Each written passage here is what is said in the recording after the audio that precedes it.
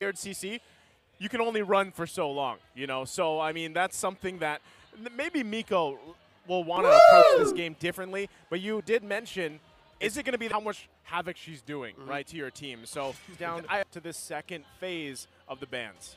Great respect ban there by Blacklist International onto Ryzen potentially picking up the Ling, but Omega swinging back with taking out the Barats. Will they even consider taking out the Guinevere?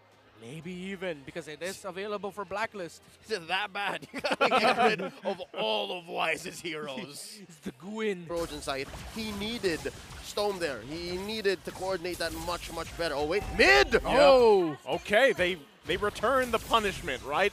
This time they get UA. Renejay oh, could be in trouble here. He's trying to get away. Oh. Split, split out of the oh. way. Can he survive? Ryzen on the hunt. Can't get him. The Hitman survives. This game, right? I mean, we're up to the fourth Lord now. Yep. But the defense is strong. Like you mentioned, the high ground is here. Can Smart Omega hold on? They're going to lose that inhibitor turret. Still have to work with the Lord. The charge up from Oh My Venus. They find a connection. And just like that, Blacklist International will sweep the barangay. In a snap, and in what seemed like for